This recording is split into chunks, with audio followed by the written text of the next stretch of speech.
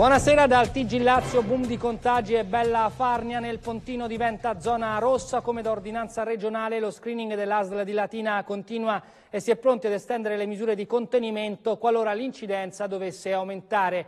Cominciamo da qui con Ilaria Dionisi, poi l'intervista al direttore sanitario dello Spallanzani Vaia che dice no a toni allarmistici sulla variante indiana.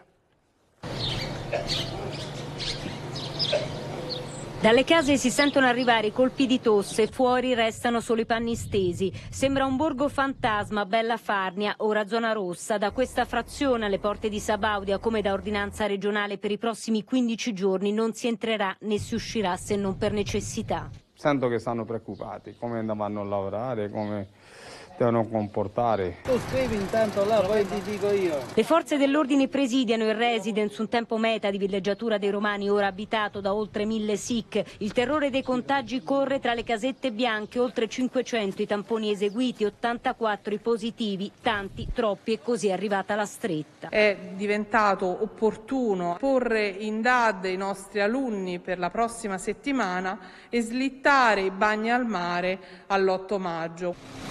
Treno per terra. I sanitari della Croce Azzurra trasportano i positivi nei due Covid hotel individuati per l'isolamento. C'è la Cerasella ma c'è anche la domotica e cerchiamo di trovarne altre perché purtroppo i numeri sono in salita. L'indagine epidemiologica dell'ASL di Latina continua, pronti a estendere la zona rossa se l'incidenza dei casi dovesse aumentare, fanno sapere dall'assessorata alla sanità. I campioni sequenziati finora allo Spallanzani hanno dato esito negativo, nessuna variante indiana. Preoccupano però le migliaia di Sikh non censiti, sfruttati in nero nei campi del Pontino e ammassati in piccole case. Il rischio è che sfuggano dai radar, così come il virus.